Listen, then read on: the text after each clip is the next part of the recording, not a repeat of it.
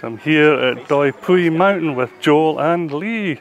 And we're at the Hmong village. Oh, here's Lee. Hi, we're coming here together today. You've been here many times, haven't you? Every, I want to come here very often. If every day that's great, but it's too far to come. the noodle people, so Yes. I'm really looking forward and to here this. is the best over all of Thailand for sui. As Lee describes, the journey to the Hmong village takes a while. Leaving Chiang Mai behind, you find yourself on a winding road that weaves its way through lush green jungle. As you climb, the air freshens and cools while passing temples, food stalls, cars, and cyclists challenging themselves with the climb. The jungle is dense, but occasionally you capture a glimpse of Chiang Mai in the valley below.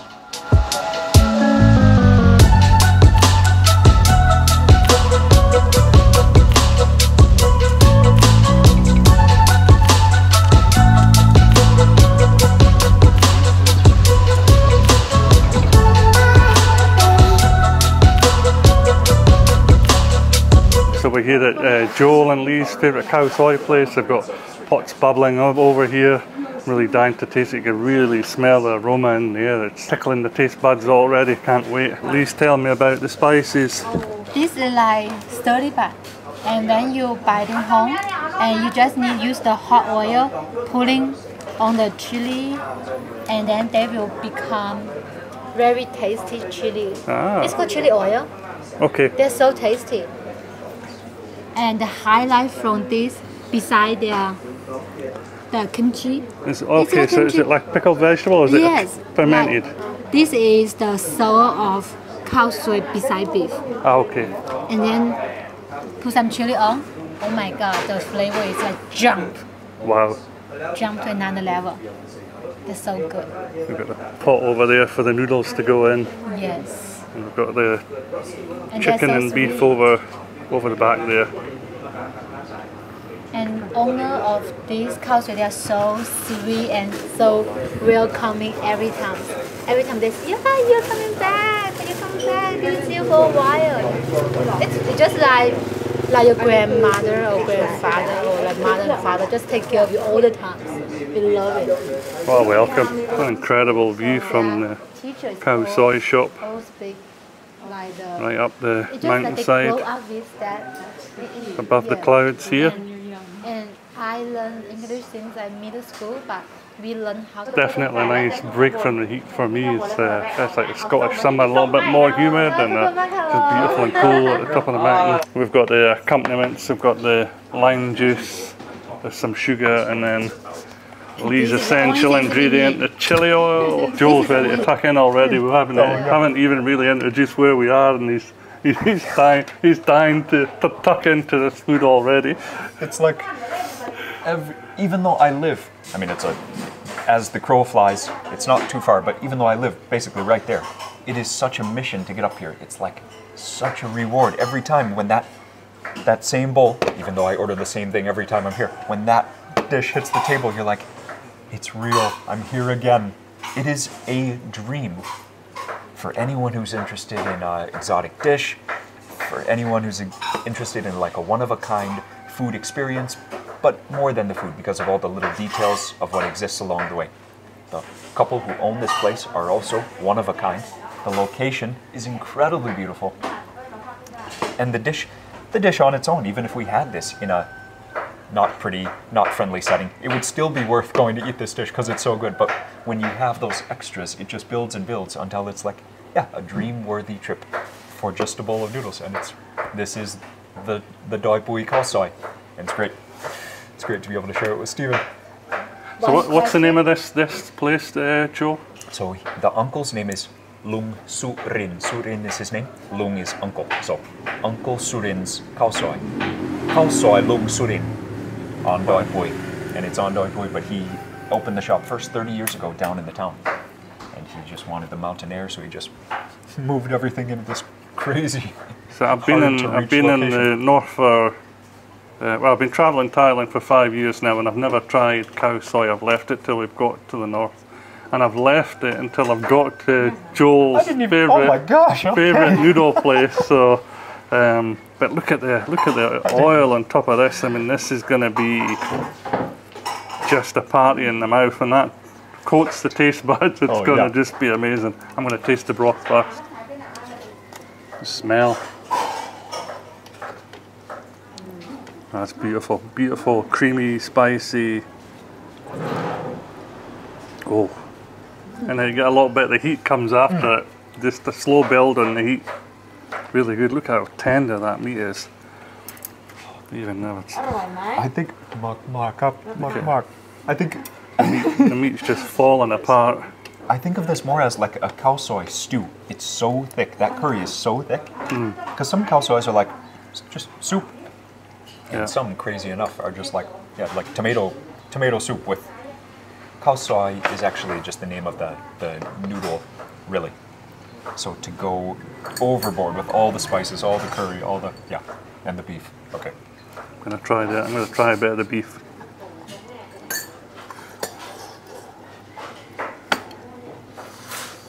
Just melts in the mouth instantly, so soft. The taste of the spices is just soaked right into the meat. and Just oh, that's beautiful. Definitely got some uh, compliments here as well. I'm gonna I'm gonna load up on the old chili oil. This one is, Oh, it's thick, isn't it?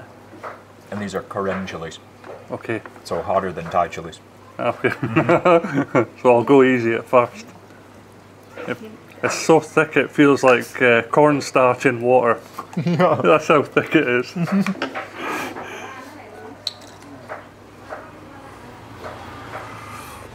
some of that in there. I'm going to go easy first until uh, I see how hot it is, and then I'll try some of the kimchi on top as well. Lee was telling me that they make this kimchi themselves. You can see the chili flakes inside.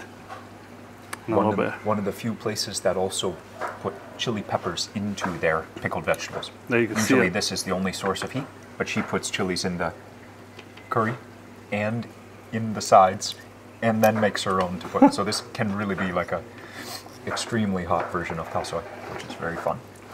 Let's see, uh, see what it's like with that little bit of chili. And Joel's braver than me. He's straight in with it. But the first time, straight in with a full the first spoon. time we put two, and we oh man, Look how red it's made that sauce already with the chili. It's gone all red with the chili heat. Uh, I've got a feeling this is going to make me cough. Yeah, that's that's ratcheted up the flavour quite a bit. yeah. The, the, even though it's hot, the the um, just amount of flavor added with that chili oil, it's just incredible. And these chilies, I mean, just one thing after another, in-house, locally grown. Have, these chilies grow up there on the mountain, and they dry them also here, because she'll sell you these if you want to take I'll some. get some to take home, I think. That's got beautiful crunch to the kimchi. Oh yeah, nice and fresh. I love the crispy noodles on top too. Right. Nice when you get all mixed in, the crispy noodles and the beef.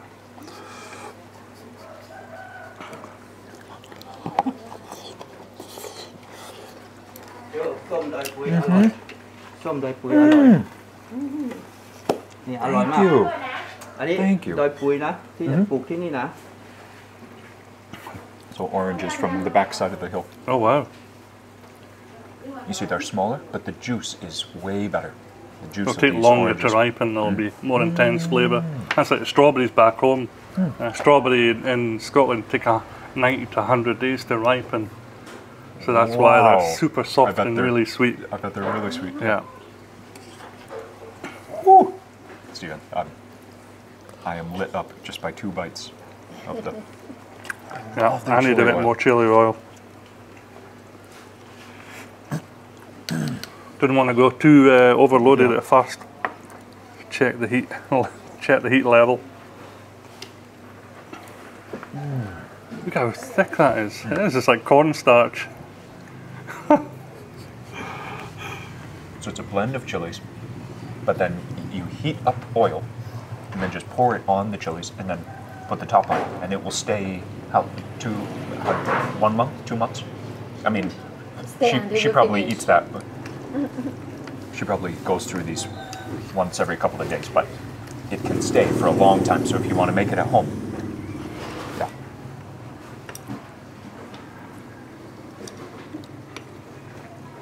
He says the fresh red onion is is a specific part also. Okay. Not using white onions or not using the small red onions that might be somewhere else. Mm. Ooh, those are yeah, raw red onions are very spicy.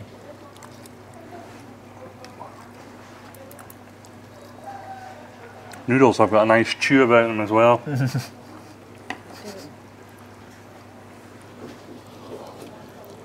So these are mustard greens throughout. Some places might use cabbage and mustard greens. So these have even more intense flavor because it's all all mustard greens.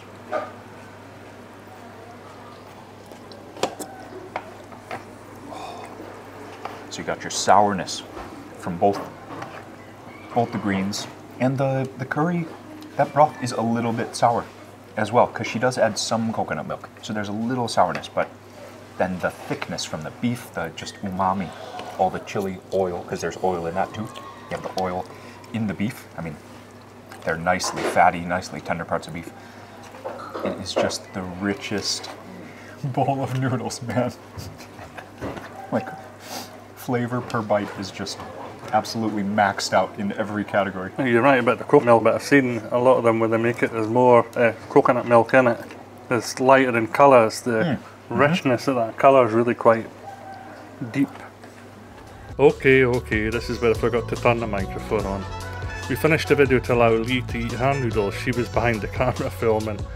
I've been looking forward to these noodles for some time and they really didn't disappoint. Thank you Joel and Lee for taking the time to drive me to the top of Doi Pui Mountain. If you enjoyed the video, please drop a like, it really helps. And if you want to see more videos like this, please consider subscribing. Thanks for watching.